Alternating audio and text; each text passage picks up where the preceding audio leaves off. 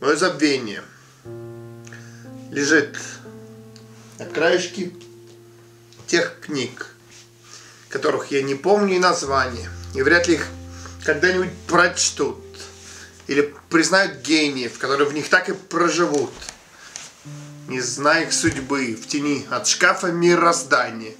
И будет также мелкий дождь лить на стекло и подоконник. Ты думаешь, я тоже посторонний, мне не звонят, и, видимо, нигде уже не ждут. Моя грудная клетка вмещает комнатный уют. Когда мне не станет, в той комнате лишь станет попросторней, и вещи в их оскале волчьем на труп внезапный мой, взирая молча, представь, когда-нибудь меня переживут.